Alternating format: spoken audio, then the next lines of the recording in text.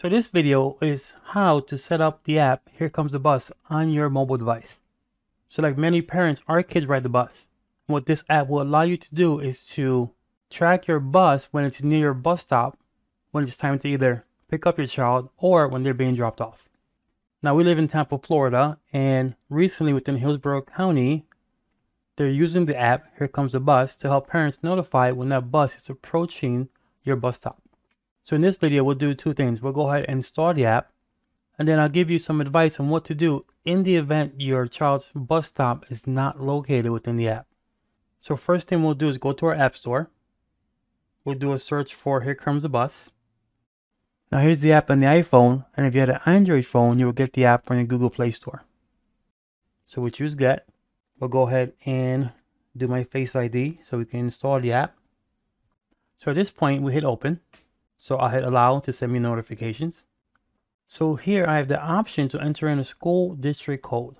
For my location, that being Hillsborough County, that district code is going to be 72 or 75255 but note your location outside of Hillsborough County will be different. Now I do have an account, but I use a different email address so we can show you a new account setup. So here I can see that I can sign up. So I'll hit continue. So in my case, I do have the code. So I'll put my email address.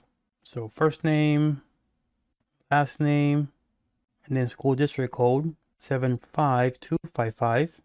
We'll go ahead and accept the terms and I'll hit continue. So now we're confirming that this is for Hillsborough County. Hit confirm.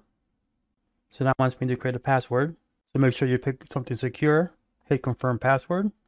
So I get thank you here and I should get an email. So here we have my email. We'll go ahead and activate my account. Remember if you don't have the email or don't see it, to check your spam folder. So now it brings me to the site. Here's my email address. I'll put in the password that I created.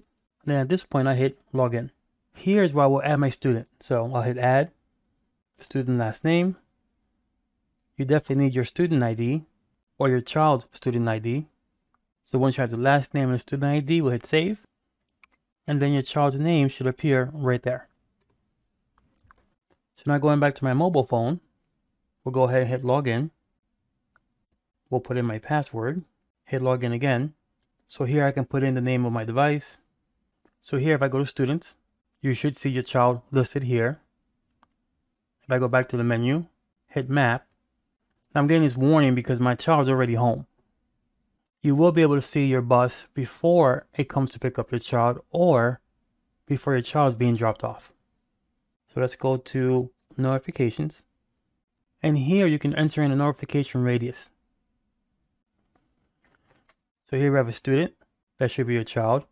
The bus stop that your child will be picked up and dropped off at, and then the radius of when you want an alert. You notice the maximum that you can set is one mile. I hit save, so we're good there. If I go back, I can also let set up notification rules. You have your child there. What type of notification would you like? And you can see here we have several different options. And you can decide to either get notified via the app on your phone or via email. And whichever one you choose is entirely up to you.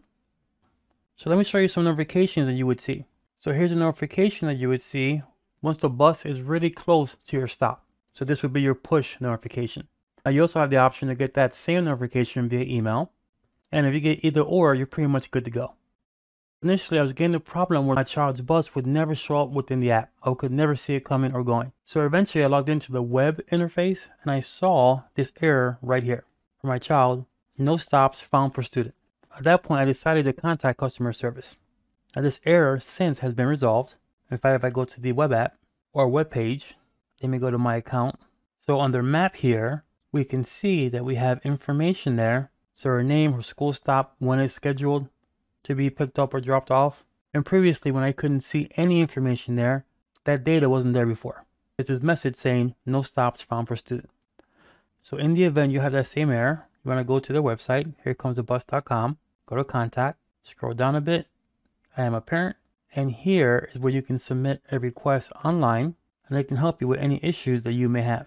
Now it will be helpful to include the following information to help expedite things. So your student name, your student's ID, the bus number, along with what time of day we have the issue. So my dialogue with Here Comes the Bus, they had to contact the transportation department to resolve the issue. But fortunately, it was resolved within a couple days. All right, I hope you find that helpful. Have a great day.